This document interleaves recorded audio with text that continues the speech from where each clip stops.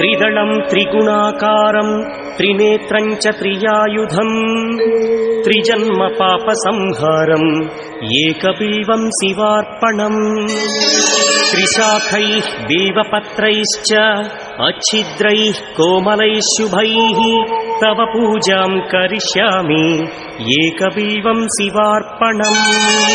कोटिकन्या महादानम् तिलपर्वतकोटयः काञ्चनम् सेनदानेन एकबिल्वम् शिवार्पणम् काशीक्षेत्रनिवासौ च कालभैरवदर्शनम् प्रयागे माधवम् दृष्ट्वा एकबिल्वम् शिवार्पणम्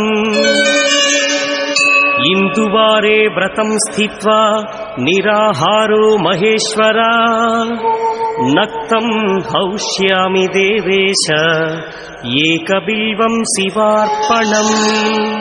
रामलिङ्गप्रतिष्ठा च वैवाहिककृतम् तथा।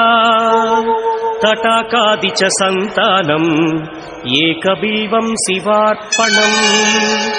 अखण्डबिल्वपत्रम् च आयुतम् शिवपूजनम् कृतम् नाम सहस्रेण एकबिल्वम् शिवार्पणम् उमया सह देवेश नन्दिवाहनमेव च भस्मलेपन सर्वाङ्गम् एकबिल्वम् शिवार्पणम् सालग्रामेषु विप्राणाम् तटाकम् दशकूपयो यज्ञकोटिसहस्रस्य एकबिल्वम् शिवार्पणम्।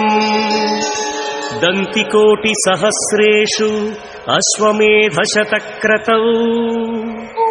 कोटिकन्या महादानम् एकबिल्वम् शिवार्पणम् बिल्वानाम् दर्शनम् पुण्यम् स्पर्शनम् पापनाशनम् अघोरपापसंहारम् एकबिल्वम् शिवार्पणम्